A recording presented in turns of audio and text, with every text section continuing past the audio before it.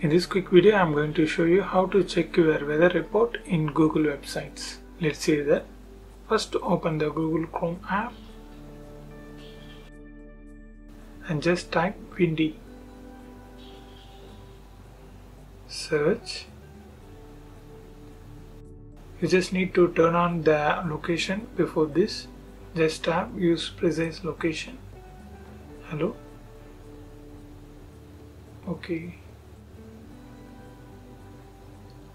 You can also turn on the location here. I just open this windy.com okay. If you want to search for any place means just click this search bar and just type the place.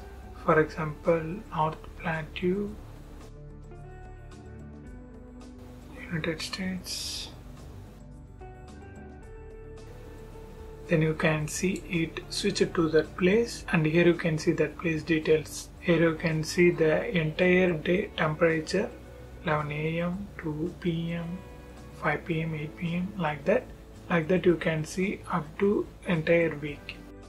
And if you want to change the parameter means just click basic. And here you can change the Fahrenheit to degree Celsius. Just tap that then it will be changed to degree Celsius. If you want to change the wind parameters means just click that.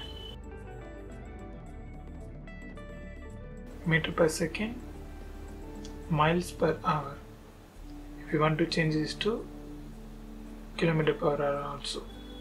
Just like that. Here you can see the entire temperature degree Celsius. Just like that if you want to search for any particular place means for example if you want to know this place exact temperature means just move the pointer like this on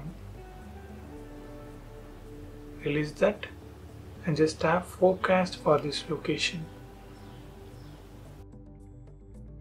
Now you can see that place entire temperature report.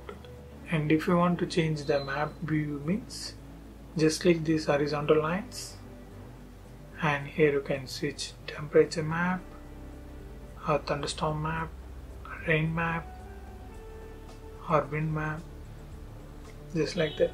On this website it is the special thing. You can see the wind direction lively. Just like that. Windy app was available on iphone and android phone. You can also install those apps just like that. This is how you can get entire weather report in google